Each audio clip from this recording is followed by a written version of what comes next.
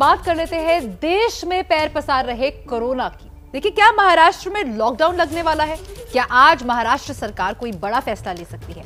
हम ये सवाल क्यों उठा रहे हैं? ये आपको अगली रिपोर्ट के अंदर समझ में आएगा। कोरोना की दूसरी लहर, महाराष्ट्र के शहर शहर में कहर।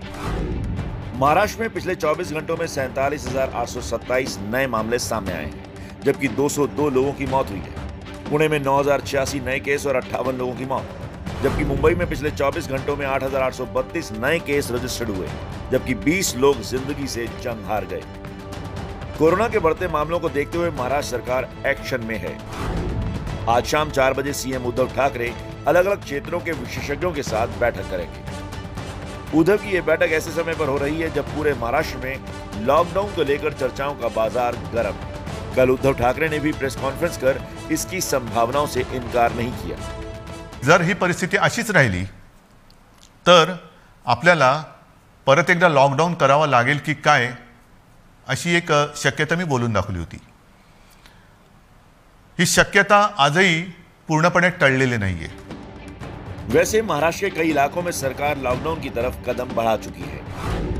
पुणे में एक हफ़्ते के लिए शाम छह बजे से सुबह छह बजे तक लॉकडाउन लगा दिया गया है। नांदेड़ में 25 मार्च से 4 अप्रैल तक लॉकडाउन और नंदुरबार में 31 मार्च से 15 अप्रैल तक लॉकडाउन लगा है।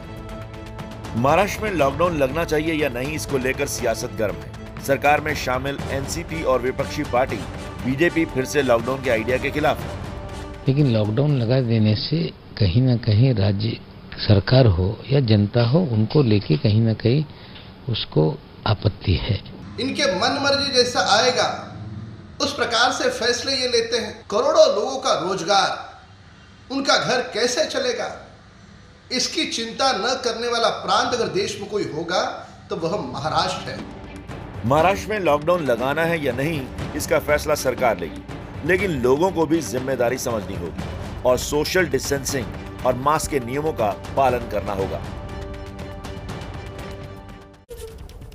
वैसे आपको बता दें, हालात सिर्फ़ महाराष्ट्र में ही नहीं, पूरे देश में अच्छे नहीं हैं। कोरोना के मामले कई राज्यों में लगातार बढ़ते नज़र आ रहे हैं।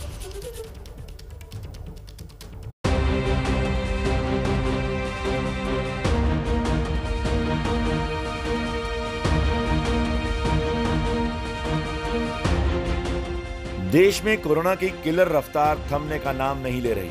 महाराष्ट्र में हालात बेकाबू है तो देश की स्थिति भी डरावनी है। स्वास्थ्य मंत्रालय के शुक्रवार को जारी आंकड़ों के मुताबिक पिछले 24 घंटे में इक्यासी नए मामले सामने आए, जिसमें चार सौ उनहत्तर लोगों की मौत हो गई। देश के राज्यों के हालात पर भी नज़र डालना ज़रूरी है। यूपी में पिछले 24 घंटों में दो हज़ार नौ सौ सड़सठ केस, एमपी में दो छत्तीसगढ़ में चार हज़ार एक सौ चौहत्तर, दिल्ली में तीन पंजाब में दो हज़ार नौ सौ तीन गुजरात में दो हज़ार छह सौ चालीस जबकि दक्षिण के कर्नाटक में चार हज़ार नौ सौ इक्यानवे तमिलनाडु में तीन हज़ार दो सौ नब्बे और केरल में 2,506 मामले दर्ज किए गए। कोरोना के बढ़ते मामलों ने राज्य सरकारों की नींदें उड़ा दी। स्थिति है सरकार में लॉकडाउन किसी भी तरह का करने का कोई विचार नहीं है। हम स्थिति पे नज़र रखे हुए हैं। अगर हमें मास लेवल पे वैक्सीनेशन करना अलाउ करे तो हम कम्युनिटी सेंटर्स में, स्कूलों के अंदर, युद्ध स्तर के ऊपर वैक्सीनेशन ड्राइव शुरू कर सकते हैं। यूपी में योगी सरकार ने तो पहली से कक्षा आठ तक के स्कूल 11 अप्रैल तक बंद कर दिए हैं। कोरोना के बढ़ते मामलों के बीच केंद्रीय कैबिनेट सचिव ने भी महाराष्ट्र समेत 11 राज्यों के मुख्य सचिवों के साथ बैठक कर प्लानिंग बनाई।